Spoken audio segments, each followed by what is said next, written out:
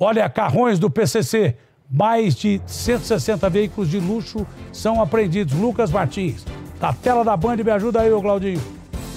Carros de luxo, esportivos ou mais formais de todas as cores, várias marcas e modelos, para todos os gostos. Isso não é um programa sobre carros. Esses aí foram apreendidos pela Polícia Civil de São Paulo numa investigação sobre lavagem de dinheiro. São 161 veículos apreendidos no total da Atena, quase todos carrões de luxo e importados. A ação é da Delegacia de Crimes contra a Administração do DPPC. Pelo menos quatro empresas foram alvos, lojas de carro na zona norte de são Paulo. Além dos carrões, foram apreendidos 64 mil reais em dinheiro e 15 notebooks que podem conter informações importantes para a investigação. De acordo com a polícia, os principais investidores das lojas de carros são integrantes do PCC. Eles têm dinheiro do tráfico internacional de drogas, repassam essas quantias a empresários dos carrões de luxo e recebem de volta dinheiro limpo, usando uma série de manobras fiscais.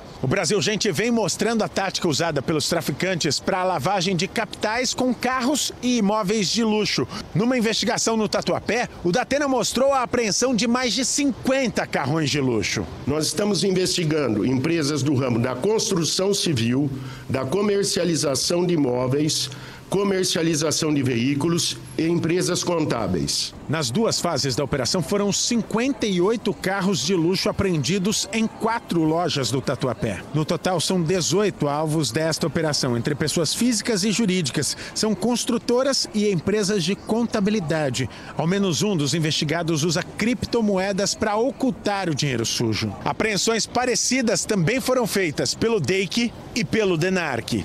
São carros de luxo, dá uma olhada aqui. Uma Porsche tem pelo menos um, dois, três, quatro Quatro Porsches, aqui uma BMW X6 também de alto valor. São carrões usados para ostentação, mas principalmente, da Atena, para lavagem de dinheiro do crime organizado. A polícia acredita, é claro, que se trata de PCC, que pode ter sim ligação com aquela quadrilha que envolvia Anselmo Cara Preta, que envolvia Django, que envolvia um grande esquema de lavagem de dinheiro, com pelo menos com quase 100 imóveis de luxo que foram sequestrados em investigações do DEIC aqui na capital paulista região do Tatuapé, aqui na zona leste de São Paulo, da Atena. Olha,